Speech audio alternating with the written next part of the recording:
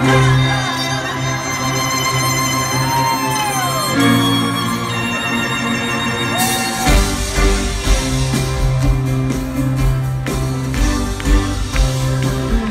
is what you can see from your enemy.